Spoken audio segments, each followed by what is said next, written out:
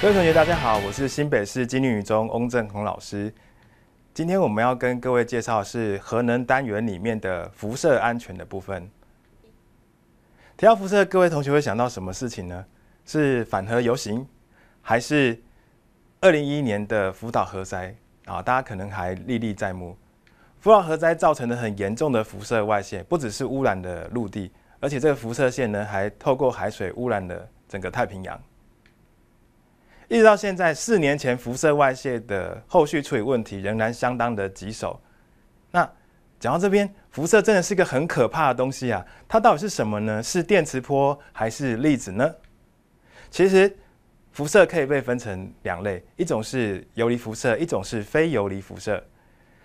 真正会对人体造成危害的是属于游离辐射的部分。游离辐射会破坏生物细胞，当然也包含生物体上面的癌细胞。幸好，如果我们能吸收少量的辐射，生物体是可以自行修复的。那有关于吸收辐射的剂量，在国际上是以西弗为单位。根据游离辐射法规的规定，一个民众所允许接收的年剂量是一毫西弗。那人吸收到了游离辐射会发生什么事情呢？如果是少量，不会发生什么显著的效应。那随着游离辐射的剂量越来越多，会造成血液异常。或者说倦怠、没有食欲，当你多到一定的程度的时候，两千毫西弗以上，甚至于有可能会造成死亡。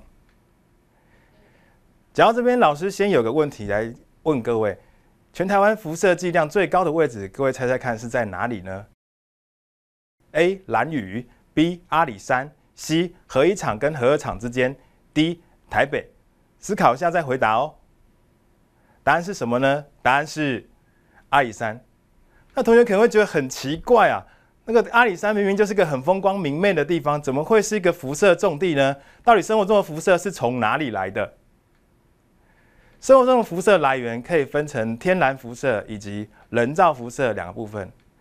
阿里山之所以会是有这么高的辐射剂量的原因，是因为它的海拔比较高，相对于其他的地方，它所铺入的宇宙射线是剂量是比较高的，因为少了大气层的屏障。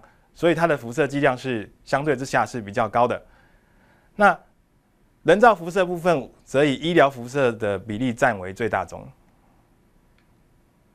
那提到医疗辐射，这张表上面的所有的医疗行为都会有医疗辐射的出现。那以我们人最常照射的 X 光来说，一般民众所允许接收的年剂量一毫西弗，相当于是照五十次胸腔 X 光的辐射剂量。那讲到辐射，很多人会把它跟电磁波扯在一起。随着科技的日益发达，日常生活中有很多的无线通讯的技术，或者说基地台，或者说热点等等，到处都充满了电磁波。那是不是我们人就一直匍匐在这个辐射的环境当中，而没有办法察觉呢？其实，在第六章的部分，我们有学过，电磁波有分成很多种类，X 光、宇宙射线属于游离辐射。另外，在生活中还有一些可见光、红外线以及无线天波等这些电磁波，其实只要铺入的剂量不是很高，其实对人是比较没有杀伤力的，所以其实不用太过担心哦。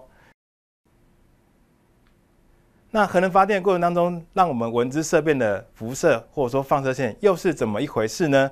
这个等我们下一个章节再跟各位揭晓喽。